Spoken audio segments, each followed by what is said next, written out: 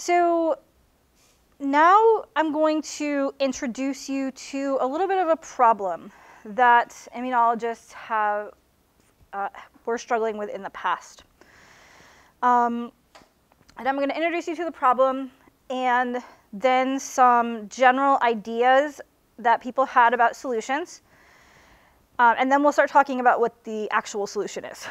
Um, so um, the problem was first sort of realized with Landsteiner when he was doing his experiments to look at antibody specificity, where he was able to see that there were these antibodies that could distinguish um, these molecules, and he was able to kind of start to realize just how many things antibodies could recognize.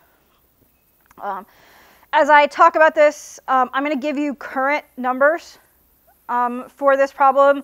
Uh, the numbers officially when Landsteiner first figured this out were slightly different, but it doesn't make sense for me to give you old numbers, so I'll give you the current numbers. The problem's still the same. Um, and basically what Landsteiner figured out was that um, it seemed as though we could make about 10 to the 16th different antibodies. Um, so if we counted different specificities. So, you know, the one against this epitope and the one against that epitope and the one against the other epitope. If you count them all up, you get 10 to the 16th. So you, want to, you should remember that antibodies are proteins.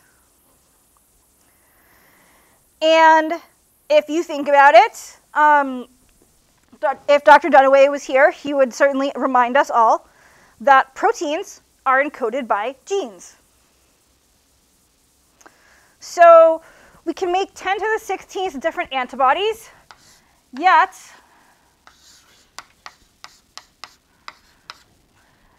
there are 2 times 2.4 times 10 to the 4th genes in the genome.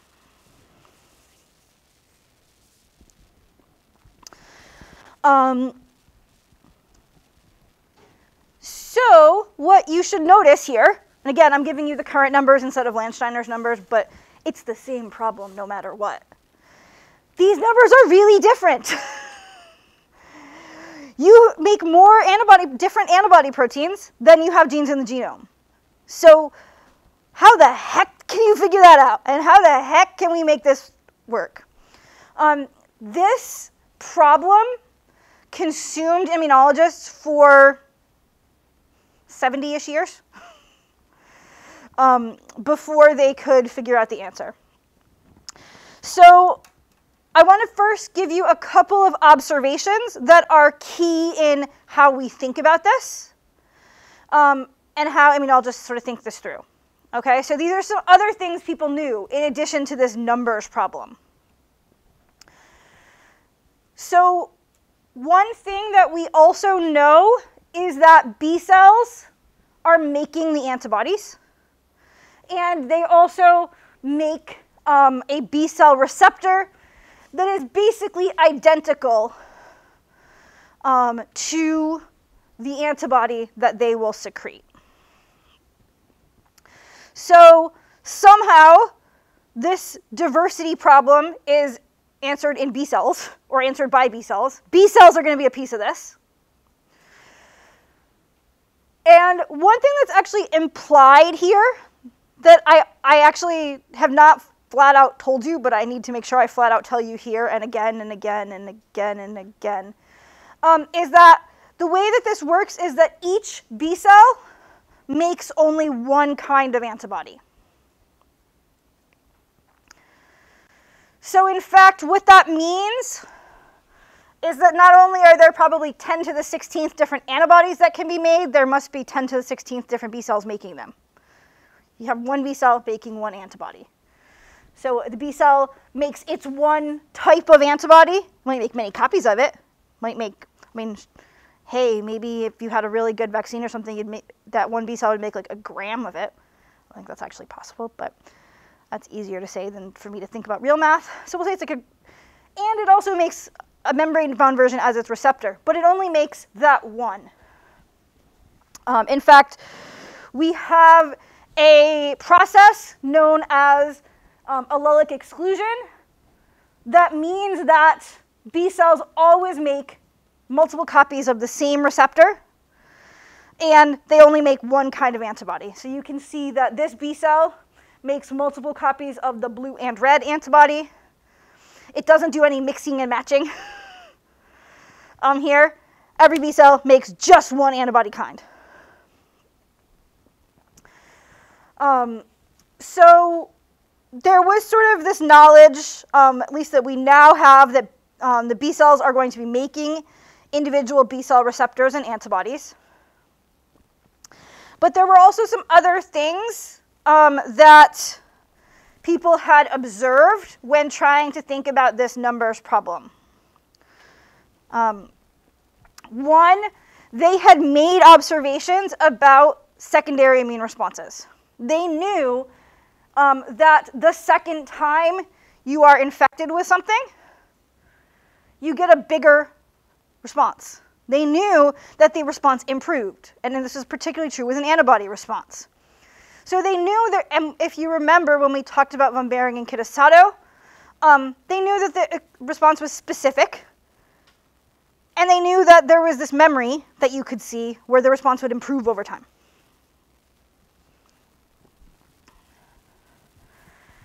And they also knew that that improvement could, could include improvement in terms of switching of isotypes or class switch, um, as well as improvements in terms of the uh, binding strength of antigen for antibody.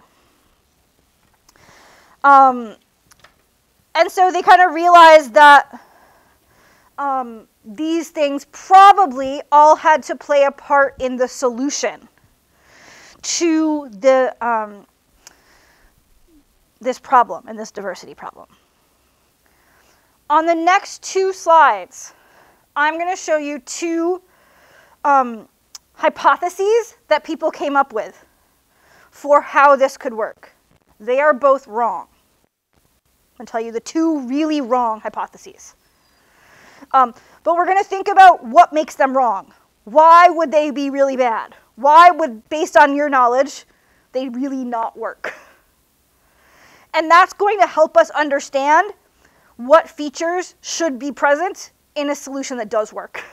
Okay? So I don't care that like afterwards, like sometimes people are like, but what am I supposed to know about this scientist and his theory? And I'm like, that is wrong.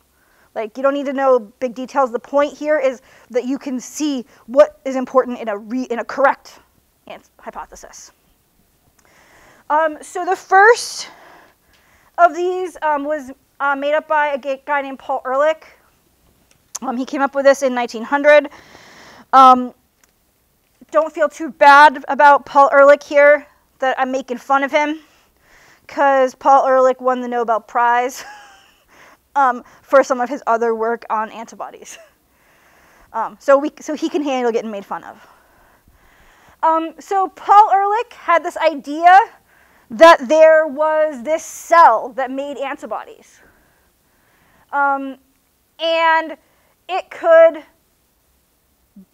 bind to antigen stuff.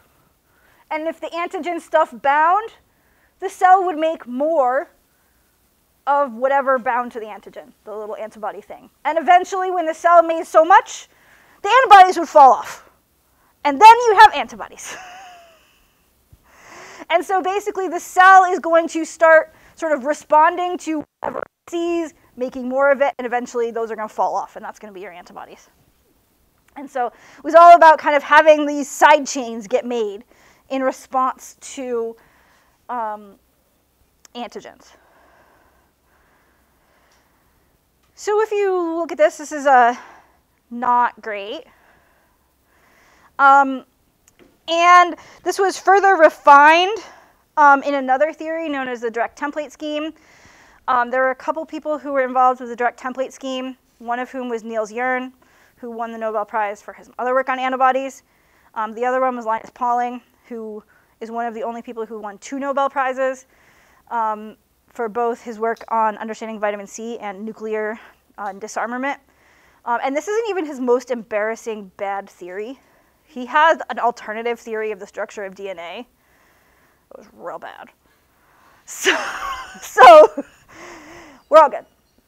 So um, Linus Pauling basically had this idea that you have this completely unfolded protein molecule um, that when it comes in contact with antigen, um, it starts to fold around the antigen and fold and fold and fold. And the more times you see the antigen, the better the folding gets until eventually you get many of these perfectly folded proteins that bind to the antigen and you have this perfectly done improved molecule.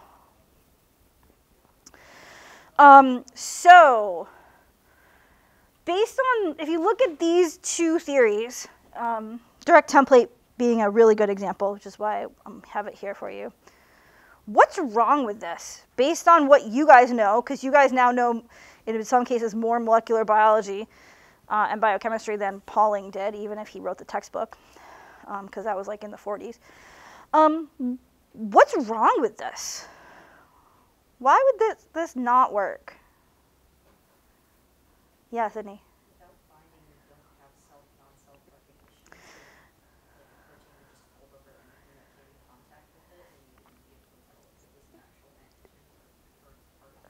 So, so A, neither of these have anything that help you respond to self versus non-self. So in this case and in the other case, you could make lots and lots of antibodies to non-self. So you would have lots of autoimmune diseases.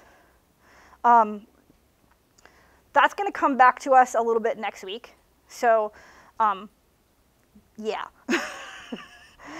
Um, so that's so all right. So there's a problem here in terms of how we deal with self, non-self. Uh, and the reason, I guess, a better way of approaching what Sydney just said is that the way that we really address that in the, the actual process that I'm going to tell you about is something we're really going to get to next week. So it may look for the next couple days like the, the process I teach you also has no way of dealing with self, non-self, but it does. We're just not going to get there till next week. is my better way of answering that. Um, all right, so what else? There, there's some other things that are pretty wrong here.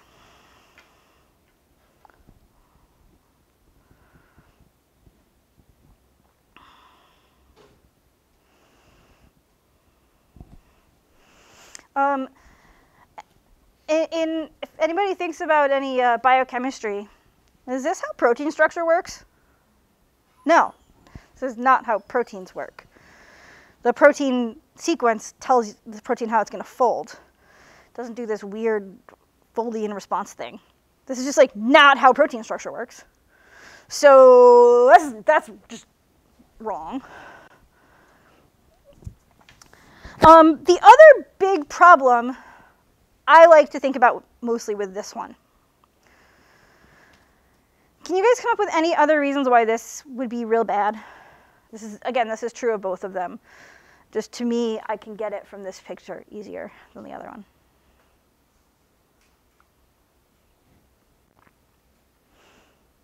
Yep, Sebastian.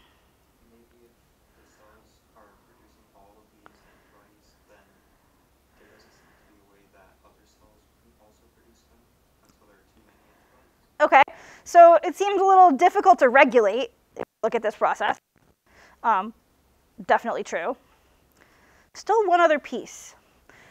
So if we look at this, or if we think about that previous page, uh, the previous version, it's like a lot of work to make these antibodies, right? Like look how much, how long this process is to make this little teardroppy antibody guy, right? It's like that cell is doing a whole lot of work. What happens if this cell dies? What? Yikes. Yikes. What happens if the cell dies? Huh? No good things. Do we have more antibodies? No, we're out of luck. We went through all this work, and then if the cell dies, we're done. We have no more antibodies. So, um, there are situations where we see people who have antibodies following different responses for 50 plus years. We now know. Um, do you think it seems realistic that we made the perfect cell and then it lived for 50 plus years? No. So, what's missing here in both of these schemes? What little additional piece of stuff are we not talking about here? It's kind of related to that number I put on the board. Yeah, Sydney. The genome. Here we're basically looking at ways that proteins can change and proteins can change and proteins can change. And we haven't talked about DNA at all. You guys might have learned in the past about someone called Lamarck in evolution. He was the guy who said that the reason why giraffes had long necks is because their ancestors reached really high. Um, clearly, my ancestors were not doing any reaching. Um, right? And he was talking about, you know, you inherited a trait because you used it or something. This is actually Lamarck. This is you inherited traits, aka proteins, because you folded them. And that's not true. We know that the way that this actually works is stuff has to happen to the genome. And that's especially important because that's how, if one, we get lose one cell, we have other cells that have that same genetic information to be progeny. And so what was realized was that all of this has to be DNA related. Uh, it can't be just sort of proteins do fun things. Um, and so we've got to kind of drill down to the genome. And this is the um, sort of basis of perhaps one of the most important, perhaps the most important um, idea in adaptive immunity. So, I'm going to talk through this slide, but I also want to tell you one other thing about this slide before I go into it. If you notice, both of the figures on this slide I've written are adapted from textbook figures. The reason why I say that is because in both cases, I have removed some stuff. I've put white boxes over some stuff so you can't see the whole process. And that's because I'm simplifying this out and taking out one complicating feature. we are going to see that one complicating feature come up next week. It's actually going to deal with the self-non-self thing that Sydney mentioned. So right now, we're, we're, we're going to put that to the side. we will come back to it. Um, and we're just going to think about this process as shown here, which is something known as the clonal selection or clonal expansion theory.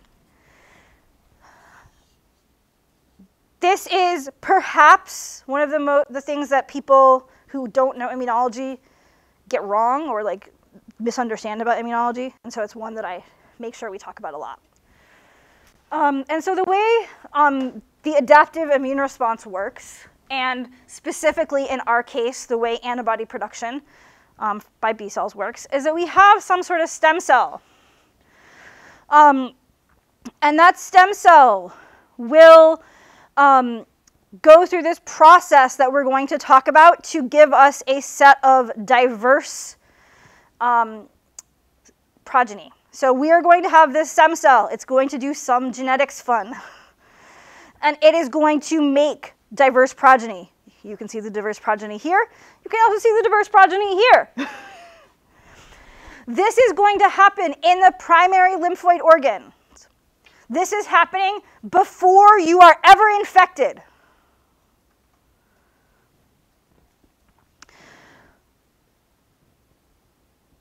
Basically, it is happening randomly. Later, you will say to me, when you say random, what do you mean by random? You don't really mean random, do you? Yes, I mean random. When I say random, I mean totally randomly. It's happening totally randomly. Basically, you are going to develop so many new B cells that you have one B cell that makes every antibody, just based on math in terms of this randomness process. So right now, even if you haven't had COVID, you have one B cell making an antibody against SARS-CoV-2 and epitope. In fact, not only that, COVID-19 is called COVID-19 because it started in 2019. We expect there will probably be more coronaviruses in the future. You right now, right this minute, have one B cell that was made in this diversity process that has the perfect B cell receptor the perfect antibody to respond to COVID 27. You got it right now. But you only got one. Yeah. Kind of, yeah. So I'll come back to that. So the idea is you only have one. Basically, you have one of every B cell right now. But one's not really enough to help you. If you actually had to wait and to develop that one cell after the virus came around, remember how we talked about how fast microbes were at replicating? You could never do it in time. So you got to have one of everything to start with. But if you are ever infected with the thing, that one gets a signal, gets a little pat on the head that says, You are useful. I like you. Um, and it divides and divides and divides and divides and divides and expands. It has been selected and it expands and makes a whole army, which is actually enough to protect you. Um, and so, in fact, in most cases, what we're seeing with infectious disease is a race. How quickly can the microbe reproduce versus how fast can this army reproduce in order to kill it. Um, but what I want you to realize first, and the thing that's really, we'll get much more to this expansion when you see the infection and how the army expands later. The point that we're really going to be talking about today is this generation of diversity. And what I want you to realize is that you are doing this whole process at all times and have been since birth to make this diverse set of, of B cells to make antibodies, also for your T cells. So again, mom's ever yelling at you that you're not doing anything, be like, Mom, I'm doing VDJ recombination. Hello. Um, and this is actually basically why we don't use the term acquired immunity anymore, because you didn't acquire it, you had it all along. It just adapted. it just got better better. um, you had it. And so we're going to be kind of seeing right now the beginning of this process where we are generating diversity in order to make this diverse pool of cells.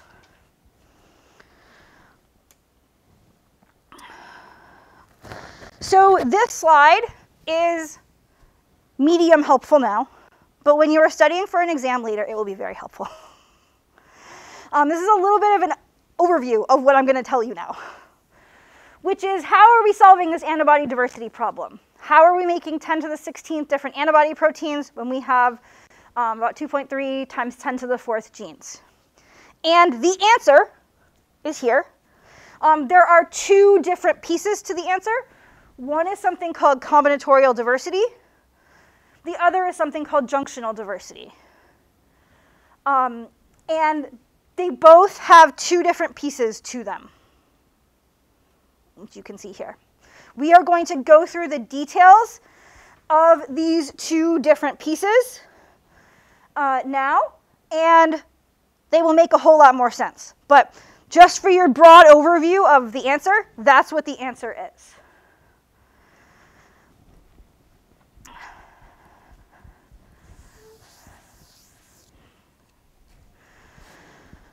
And now I'm going to explain combinatorial diversity. And today is a great day for me to explain combinatorial diversity. Because what we're going to imagine, we don't have to imagine because it's kind of true, kind of having a rough day. Let's imagine I decided because of my rough day, I'm going to give up on this whole teaching thing. And instead, I'm going to open a restaurant. So let's imagine I'm opening my restaurant, okay? Now there's also one other thing that is not an exaggeration about opening my restaurant, which is that I'm not very good at cooking. So opening a restaurant is an interesting choice for me. So I know how to cook.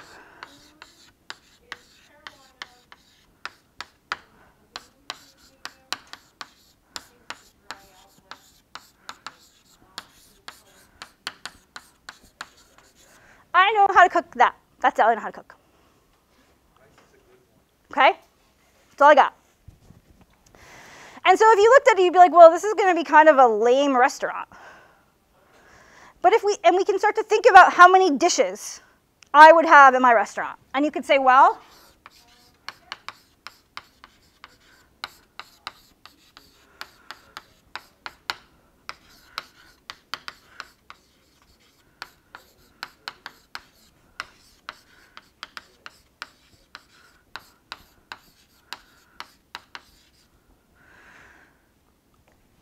let's pretend I'm all of my things have to have chicken in them or have to have meat in them. That's what I got. I got four things I can cook. That gives me three dishes on my menu. Not that great. Now let's imagine I learn how to cook a new thing. Let's imagine I now learn how to cook beef. I only learned one new dish. Yet now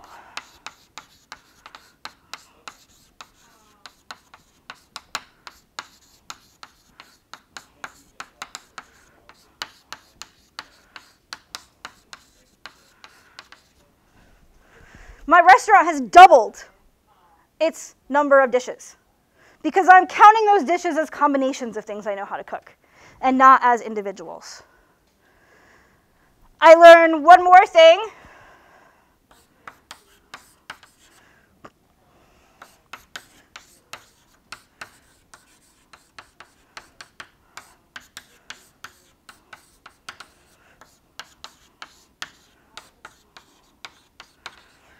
Suddenly, my menu starts to get a lot bigger. And so what you can see here is I'm only getting a small addition in number of dishes that I can cook. But if I count the actual things on my menu as combos of them, then with any small increase in the number of, of dishes, I get way more combinations. Does this make sense? That's combinatorial diversity. That's all it is. And you've already seen one of the two examples of combinatorial diversity uh, this semester already, which is that when we make an antibody, we are pairing together heavy chains and light chains. And the antibody will bind antigen at the place where the heavy chain and the light chain come together. And so if you have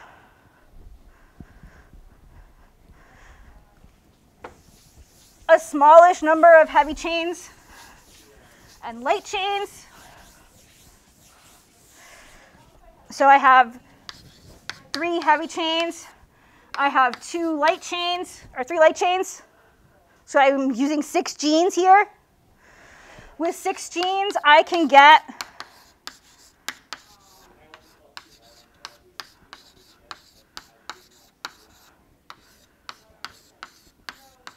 nine antibodies. And so it's like I'm saving on genes. Get six genes, nine antibodies, woohoo! And so I can go with a small number of genes, get a big number of antibodies. And you can imagine if I do numbers that are bigger than three, this gets even more and more dramatic. So this is one big piece of combinatorial diversity, and this is in fact really how, how this works. And so one way that we get to that 10 to the 16th antibodies is simply that we're pairing heavy chains and light chains.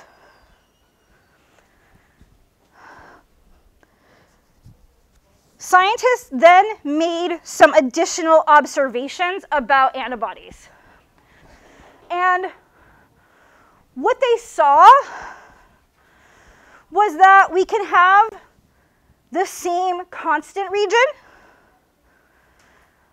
paired with different variable regions. And they saw that we can have the same variable region paired with different constant regions in terms of making our antibody. So not only are we pairing a heavy chain and a light chain, it seems like these two pieces, the sort of darker color and the lighter color, also seem to kind of pair together differently. And based on this observation, scientists made the um, hypothesis that was known as the mini gene hypothesis. And the mini gene hypothesis um, indicates that there were several small sub-pieces, several small mini genes or parts of genes that get put together in order to make up the gene encoding the antibody. And so we could have multiple pieces. Here you can see V's and C's listed. And you could pair different V's and K's together to give you a final um, gene for uh, an antibody. And so you could imagine this happening for both the heavy chain and the light chain. And so you get tons of combos really quickly. And this is just another way of showing this. So you can see that we can have, uh, if we're imagining, say this is just the heavy chain, um, we've got a couple choices for V, a couple choices for J. We can cut the DNA, put together um, one of those V's and J's. Each B cell does this differently at random, and each B cell makes a different receptor. And you can see that exact process here, where we're going to cut the DNA um, between two different, uh, a V and a J, put them back together, paste the DNA, get this new combo. Each B cell does it differently um, to get a different potential combination for the heavy and light chain. So you can sort of do combinatorial diversity inside the heavy chain and light chain, and then combine those heavy chains and light chains. Um, so anything strike you as a little wacky here? Let's make sure that we're all clear on what exactly is being shown on this slide because there's a thing that's kind of wacky.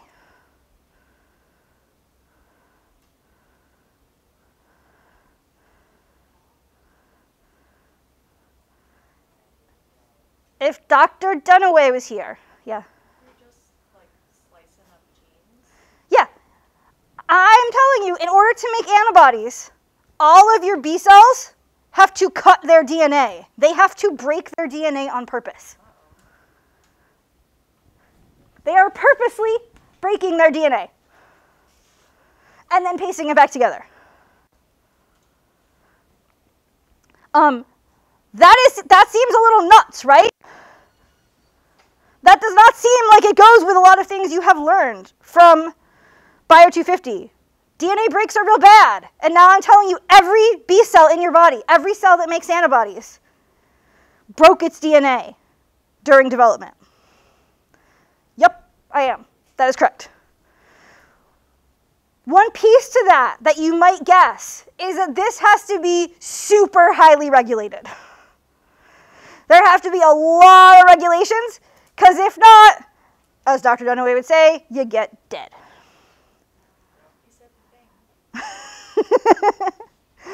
um, and so especially on Wednesday, we're going to be talking through a lot of the enzymes and like the really nitty gritty details of this. And you're going to be like, oh, this, there's so much, this is painful. It's not that painful. But the point of a lot of those steps is regulating the heck out of this. because you can imagine just how bad it would be if this went wrong. So this hypothesis was sort of out there in the field for a while. Um, but nobody was able to prove it for a long time. Um, and then someone came along and did some experiments um, that allowed him to prove this. Um, this person's name is Tonegawa. Um, Tonegawa did these experiments in 1976 um, to prove this. Um, just so you know, Tonegawa is still alive and actively doing research. He is at MIT. However, after he, he did these experiments, he decided that immunology was over because all of the important problems were solved um, and became a neuroscientist.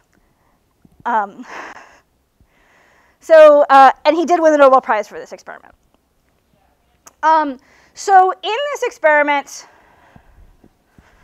we can think a little bit about first the general hypothesis he's thinking about with this. So basically, the idea in this experiment is Tonegawa says, okay, if I look at cells that are not immune cells, and he, there are different versions of this experiment that use slightly different cell types. Um, so, but the basic idea here is a not immune cell. I think on the next slide it shows liver.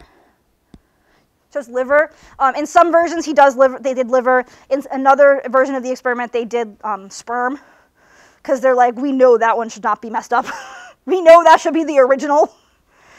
Um, but they, a not immune cell thing. I mean, like the DNA should be in one kind of form there. And if we look at a cell that makes an antibody, the DNA should be different. That's basically what his what he was trying to show. Is this is DNA different structurally in this case versus this case?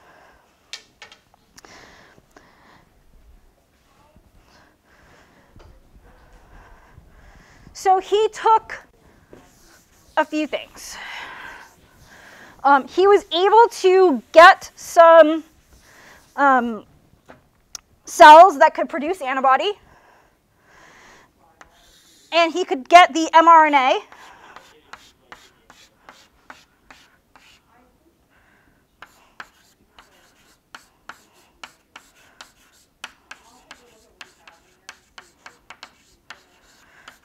So he got the mRNA encoding the antibodies.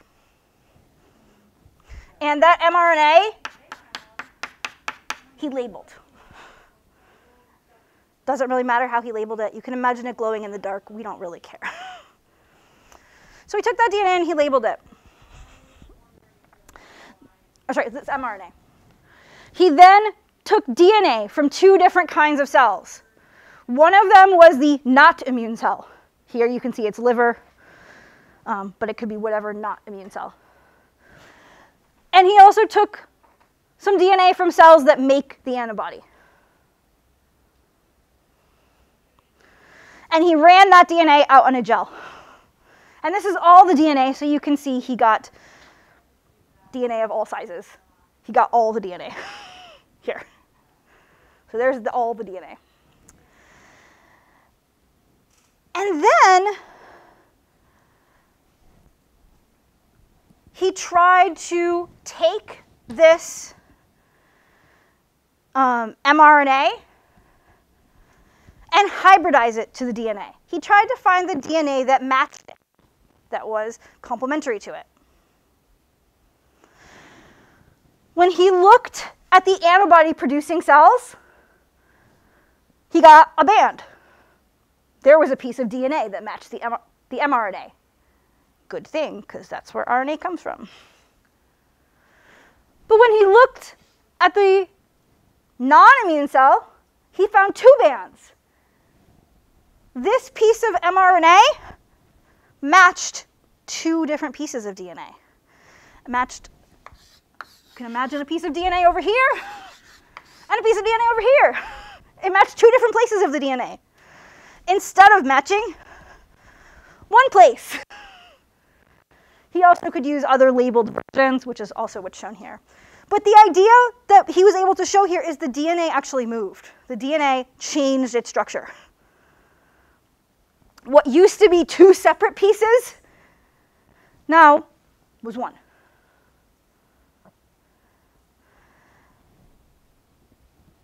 And so this really helped in um, supporting the mini gene hypothesis.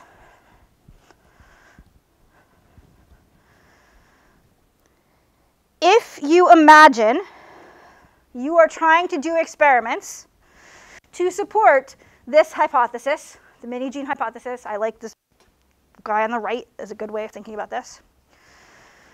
One thing that you could look for is you could look to see did the DNA change from this guy to this guy, right?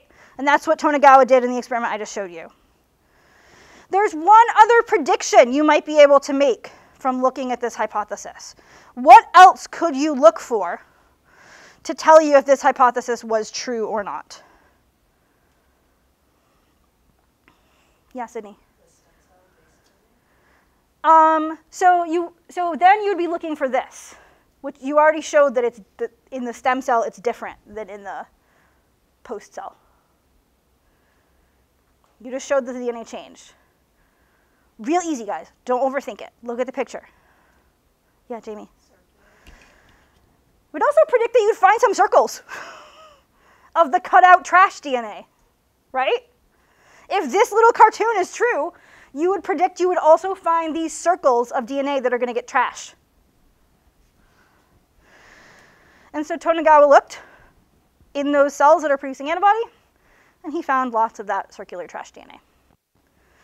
Um, again, kind of um, suggesting that the mini-gene hypothesis was in fact correct.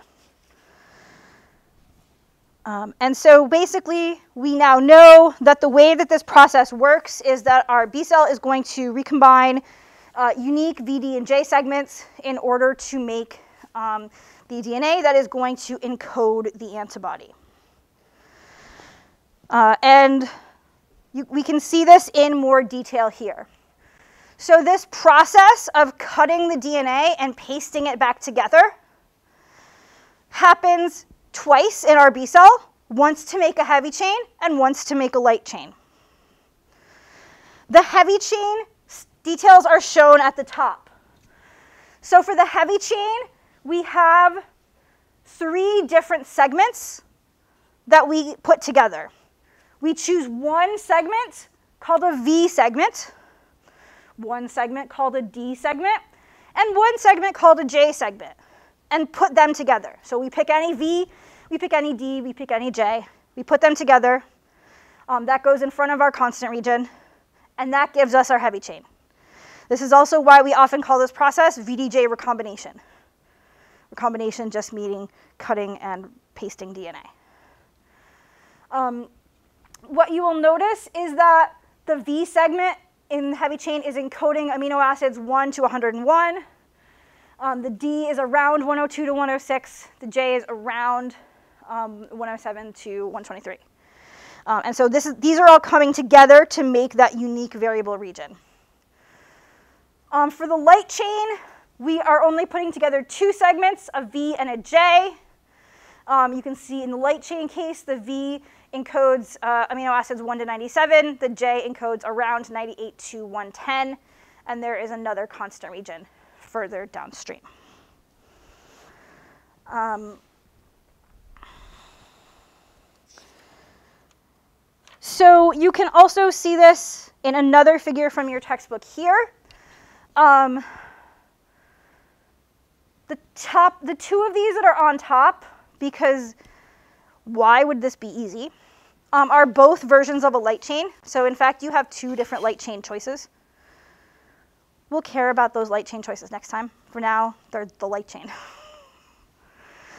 um, they have V's and they have K's. Uh, or sorry, they have V's and they have J's. Um, one of them sits on chromosome 2, the other sits on chromosome 22. Um, and then we have chromosome 14, which is where the heavy chain sits, and this includes our V's, our D's, our J's, and all of our constant regions. If you remember, when I taught you about the different isotypes and the different constant regions, I told you about MDs give everyone apples.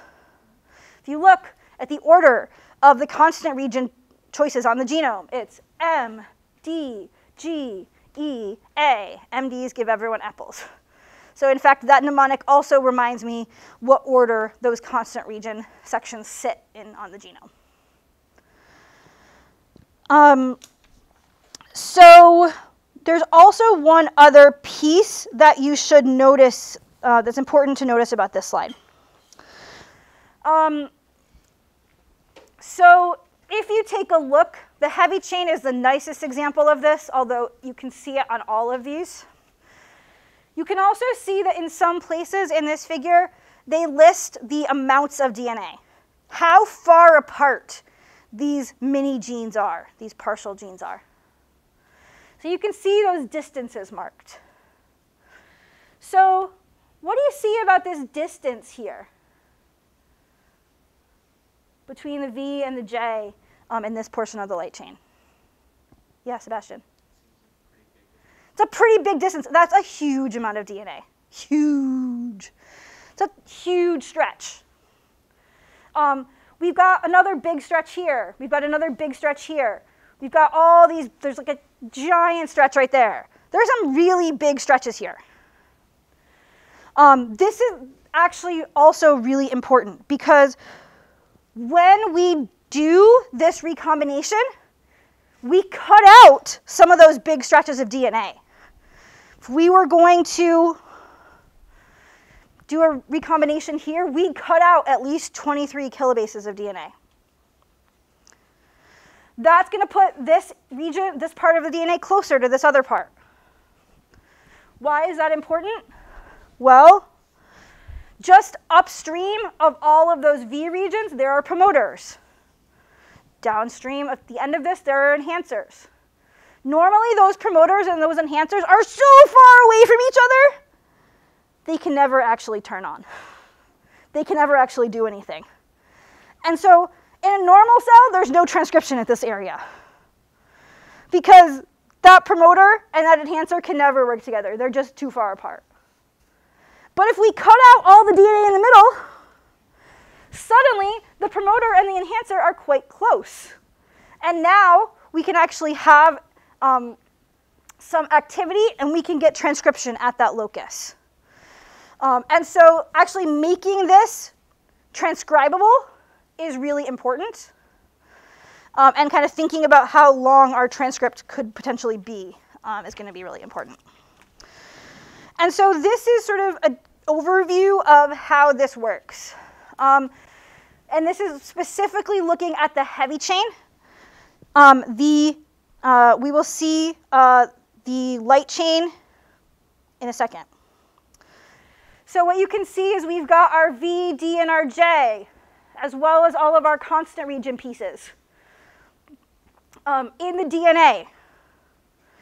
In that developing cell, we're going to break the DNA and do rearrangements so that we get the V, D, and J close to each other. The stuff outside of this region, see all this downstream business? It stays. we don't do anything to it. If there was upstream business, that would stay too. And so we're just going to have all of this DNA. It can now be transcribed to make a big long RNA with all this business still in it. Then we splice that RNA to have just what we need. And then we make the protein. And you can see that VDJ region, which was the red, green, yellow, is now the variable region of that antibody, whereas all these constant region exons form the constant region sections. And we can see the same thing with the light chain. So this light chain process is happening separately in the same cell. We're going to take our V and our J. We're going to put them together in the DNA. We only do it once here, I'm having to do it twice in the chain. Um, then we're going to have, you know, this downstream business is all going to stay. Upstream business would also stay. Um, we get our transcript of our RNA. We splice it to have just what we wanted. And then the V and J come together to form the variable region of the light chain. We have just the constant region exon um, after that. Um, and so hopefully I have convinced you at this point of the fact that um, understanding the idea of um, combinatorial diversity helps us solve this problem and go from a really small number of pieces of DNA to a really big number of um, antibodies. And just to give you a the sort of this in math forms, so for the heavy chain, um, there are 45 V choices, 23 Ds, and 6 Js. And so if you just multiply out how many combos you get, you get 6,210, and that's less than 100 genes.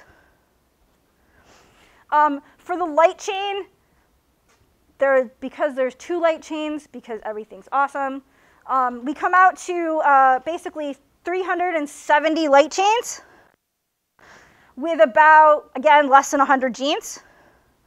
And then if we pair up the heavy chains and the light chains, we get 2 million um, potential antibody genes out of less than 200 um, pieces of DNA. Um, and so this combinatorial diversity is getting us a lot in terms of antibody diversity. Yep, Justin.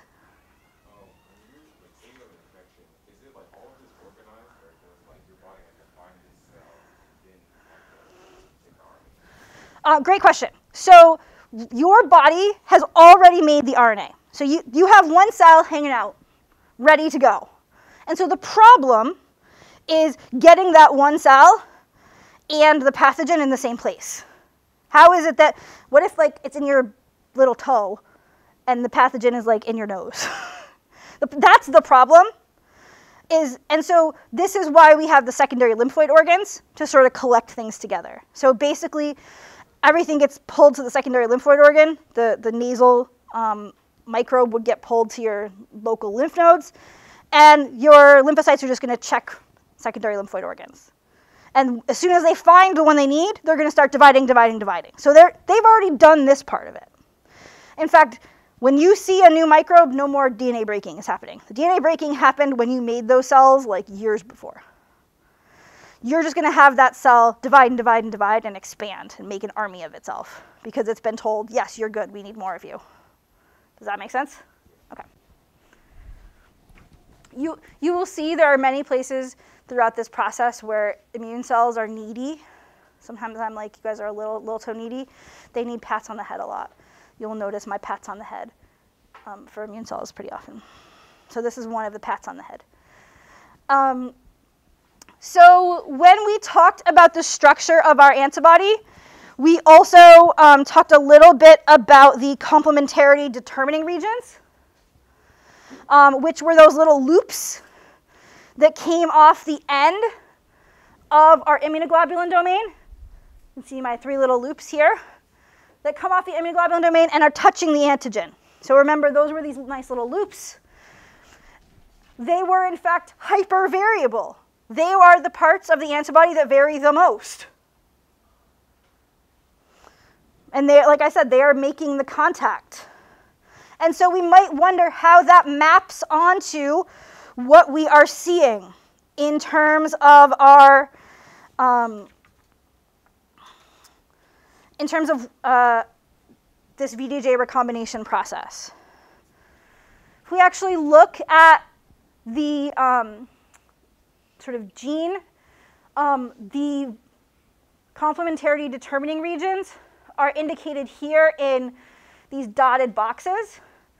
You can see that Two of them are just based on which V region you picked. But one of them is actually made by the joining. And so it's made by the unique sequence that comes from joining all these pieces. And so it's going to be super variable and super unique. Um, that's the, the, third CDR uh, in both cases. And so you can see that, in fact, the reason why the, these areas are the most diverse from antibody to antibody, especially in the case of CDR3, is that they are the ones that are actually being made by this junction, by this unique joining.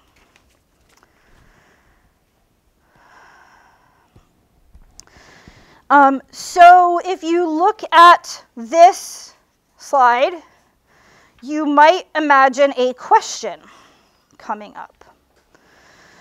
Um, and so can you imagine any potential question that comes up here?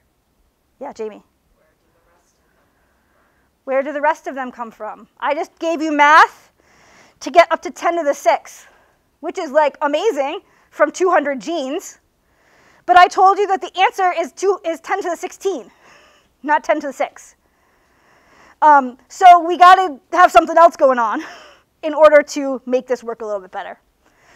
Everything I've told you about thus far is that process I mentioned called combinatorial diversity. The rest of the, the variation comes from this other process of junctional diversity. Junctional diversity sounds like it must be real fancy. And I don't think it's very fancy. Junctional diversity just means that when we paste together two pieces of DNA, we don't do a very good job with it. Sometimes we add and subtract base pairs. So when we make that junction, we can add or subtract base pairs to give us a little extra spice in our repertoire. Um, and so you can imagine that even if I had four B cells that all tried to put this pink segment with this uh, yellow segment, they could all do it in slightly different ways, adding and subtracting base pairs. And so I could even if I had four B cells who all picked the same DNAs, they could get different antibodies out of it because of the number of base pairs that they added or subtracted. Um, and so this final piece um, of junctional diversity is really what gets us up to our big numbers. This textbook gives you a 10 to the 13th. I gave you 10 to the 16th. It doesn't really matter. The answer is a lot. um, and so this is, like I said, this is sort of our general overview of the process that is happening.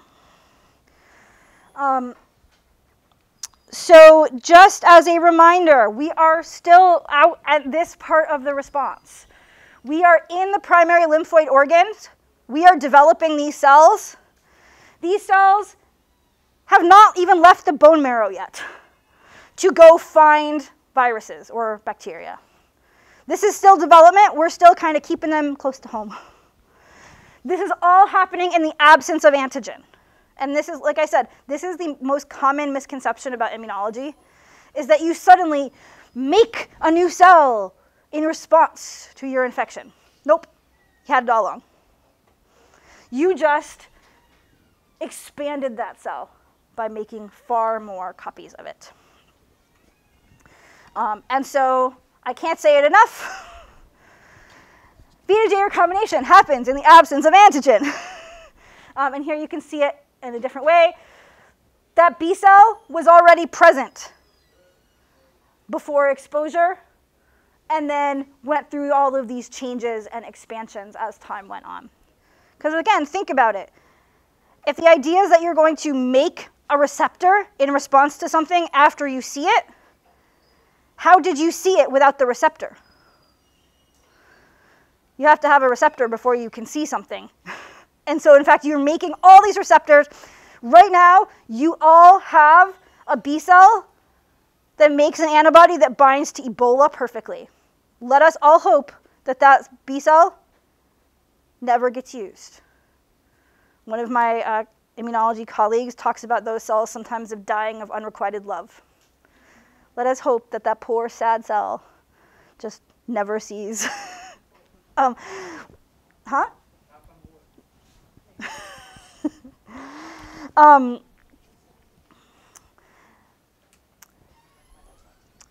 this process of VDJ recombination is in fact one of the things that we use to define adaptive immunity. Um, so VDJ recombination is a hallmark of adaptive immunity.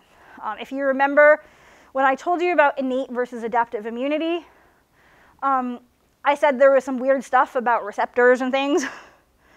Um, in the uh, innate immune system, we have these conserved germline encoded receptors. That just means they're normal receptors. They're receptors that are encoded like every other thing you learned about in Bio 250. Whereas the adaptive immune response is actually partially defined by the fact that we have VDJ recombination um, happening um, in the, these organisms. And so this is sort of one of the things, like I said, that we use in order to define um, adaptive immunity. Um, and in fact, um, this is the thing that makes the immune response of jawed vertebrates different than other organisms. Um, so it's actually super cool. Um, if you look at immune responses, all of a sudden, um, about 550 million years ago, it seems as though there was a big change in um, the genome of our ancestors, something happened, and they suddenly got this entire process that allowed them to do adaptive immunity. Um, basically, it, we went from like no adaptive immune response to the entire adaptive immune response, this whole recombination process, sometimes referred to as the immunological Big Bang. Um, we can talk more about how that happened because it's so cool. But um, so um, there are people who can not do VDJ recombination. Um, they have different types of mutations. Um, basically, they have problems with some of the proteins that are involved in this process. Um, if you do not have the proteins that are involved in this process, then you do not have T cells or B cells. Um, that is a situation where you have no adaptive immune response. Um, you might have heard of the boy in the bubble syndrome. Uh, this is the boy in the bubble, um, usually referred to as SCID or uh, severe combined immunodeficiency. Um, extreme susceptibility to infections. Um, it's, a, it's a huge problem. Um, many of the genes that are frequently involved in this are on the X chromosome, which is why it is very frequently a boy in a bubble, as it's an X-linked trait. Um, so this is pretty important. Um, kind of bad if you can't do uh, this process. Um, one other downside of this process is that it does allow our antibodies to be really specific. They're so specific that sometimes by making small changes, microbes can evade them. And so here you can see a sort of stylized example of a purple virus. By the time we expand the B cells that make purple antibody, the virus might have changed. So now purple antibodies don't do anything because we got red virus. And by the time we get some red antibodies, the virus might have changed again. So this is the downside of the adaptive immune system compared to the innate, where we don't have this ease of mutation where we are recognizing conserved structures that aren't alterable by mutation. Um, with the adaptive immune response, this is our downside. Um, but we've already kind of implied the next thing. So if Dr. Dunaway was here, I mean, I can do this too. It's not like I need him, but Dr. Dunaway's here. Um, we you could think about different types of cancers. And so you might want to think about what, what parts of your body most frequently have tumors. Where are the most common cancers? Like if you think about it, what's the most common body type that has cancer? Yeah, go for it. Dr. Dunaway, we just talked about you.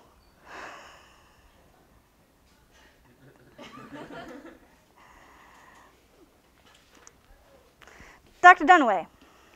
Hi. What is the, what type of body, what, what part of your body is most frequently, uh, or do we most frequently see tumors in? Where's the most, com what, most common type of cancer? You really don't want to answer that question. are we, are we going to be generally specific, sex specific? Gener generally specific tissue type. Here. No. Yes. False. Here.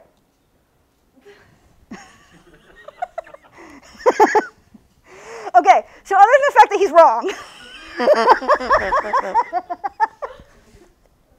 skin. Skin. Skin. yeah. Clear about something. Yeah. The fact that I'm pointing here, uh-huh. you're automatically assuming I'm not pointing to that. so, touche. Okay. In any case, skin is the answer to my question. Um, why skin? Yeah. It's um, most rapidly replaced cell. Okay. What were you going to say, Justin? Okay. It's also in contact with the environment and can get mutated or can get hit by something like, you know, me, the sun, because I get sunburn if I think about the sun very hard. But you can imagine that your skin is in contact with the outside world. If you make a list of most of the tissues that are frequently uh, undergoing cancer, you generally are going to get a whole bunch of tissues that are in contact with the outside world, except for one. The one that ranks way too high is, the, is immune cells, leukemias and lymphomas. It's all like stuff in the outside world, stuff in contact with the outside world, and also.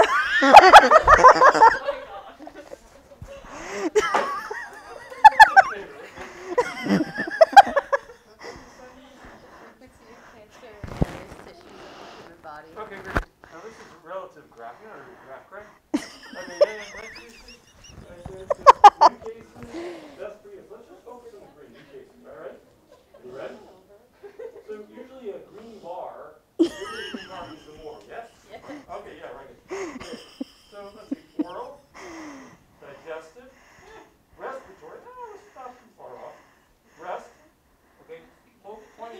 question in both of those things, by the way. Um, reproductive tract, yeah. Oh, let's go, oh, skin. How, how big is that green bar? Like what? A third A of the third, size. okay, a third, thank you. I win. In any case, immune cells are overrepresented, okay? That's the story. And the reason is because they're breaking their DNA so much. That makes leukemias and lymphomas more frequent than they should be, based on the exposure of immune cells to the outside world. That's why we have to regulate this process very uh, tightly, and we will start talking about that on Wednesday when he will have been told that I was right.